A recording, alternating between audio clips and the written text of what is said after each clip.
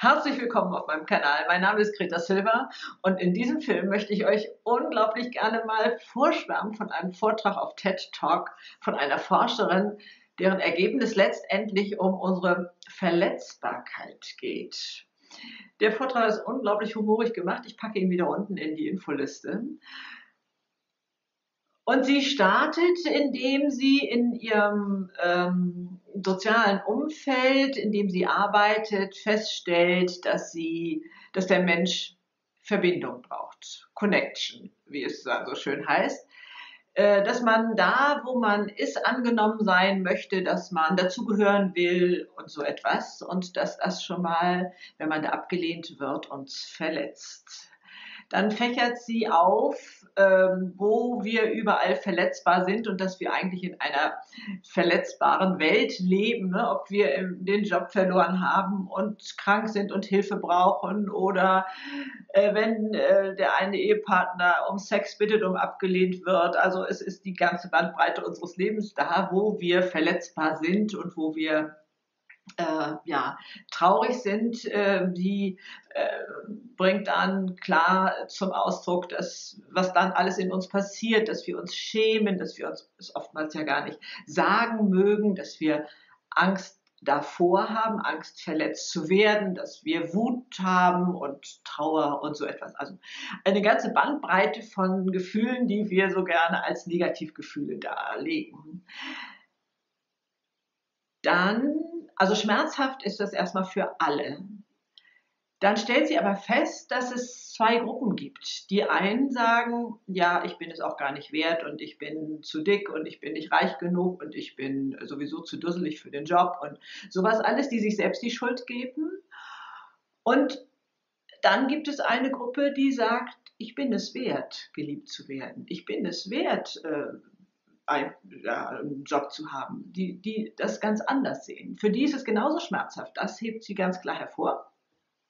Und sie geht in ihrer, in ihrer Forschung, die übrigens dann über sechs Jahre geht, sie hat erst nur ein Jahr angesetzt, äh, also unglaublich breit angelegt, geht sie dieser zweiten Gruppe nach, die sagen, ich bin es wert. Ich, äh, äh, das, das geschieht mir Unrecht.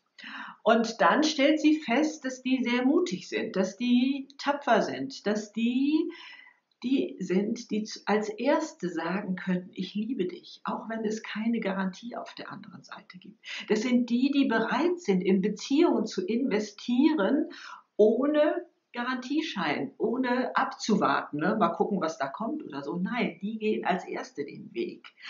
Und ähm, sie fächert das auch noch ähm, deutlich breiter auf und stellt fest, dass ähm, diese Menschen, dass denen sehr bewusst ist, dass ihre Verletzbarkeit eine Kostbarkeit ist, dass das etwas ist, was sie schön macht, nennt sie das sogar und kommt dann zu einem äh, Schluss, der sie so aushebelt, dass, äh, weil es nicht in ihre mathematische Forschungsstruktur passt, in die sie sowieso ihr ganzes Leben gepackt hat, dass sie also die nennt das erst einen Breakdown, also so einen Zusammenbruch hatte und nachher nennt sie es also eine ja, Erweckung ins Leben oder so, wo sie sich dann tatsächlich Hilfe holen musste.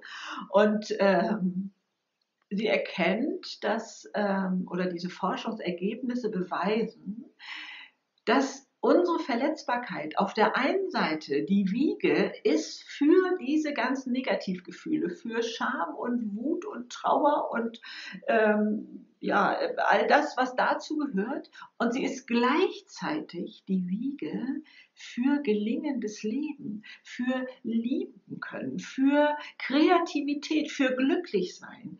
All dieses ist die gleiche Wiege unsere Verletzlichkeit. Das konnte sie also gar nicht aushalten und stellt dann in weiterer Forschung fest, dass es unmöglich ist, nur einen Teil dieser Verletzbarkeit betäuben zu wollen, weil man es nicht aushält, weil man diese Schmerzen nicht haben will.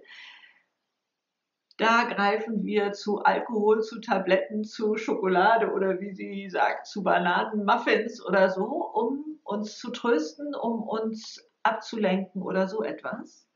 Aber wir decken damit die Wiege der Verletzbarkeit zu und decken somit auch die ganzen anderen schönen Gefühle zu. Dieses gelingende Leben, diese Freude, diese Motivation, diese Kraft, die da drin ist. Und das Ergebnis dieser, dieser Betäubung ist, man fühlt sich elend, man hat dieses Schöne nicht, man, man hat Sehnsucht danach und greift zum nächsten Bier, wie sie sagt. Also man ist dann in einem Teufelskreis. Sie selber fächert den ähm, Film noch deutlich weiter auf, auch ähm, in die Politik hinein und in Firmenverantwortung, wo es nur noch um Schuldzuweisung geht und nicht mehr um ein authentisches, es tut mir leid, ich bringe das wieder in Ordnung. Äh, aber ich möchte gerne hier aufhören. Äh, und äh, der Titel ist zwar in englischer Sprache, aber mit deutschen Untertiteln. Und ähm, er lohnt sich auf jeden Fall. Also ich habe ihn mir mehrfach natürlich angehört, äh, um da so das für mich Wichtige rauszubekommen. Aber zu wissen, unsere Verletzbarkeit, die manchmal so weh tut, ist die Wiege für gelingendes Leben und für Schönes. Ich denke, das macht uns stark, uns noch wieder neu hineinzuwerfen und äh, ins Leben und uns verletzbar zu machen, aufzumachen, unser Visier, unsere Schutzmauer und so, denn da, ja, äh, wie nennt sie das? Ich glaube, gestatten, uns, uns ähm, den anderen zu gestatten, in, in uns hineinzuschauen, die ganze Fülle wahrzunehmen, was da alles Schönes in uns ist.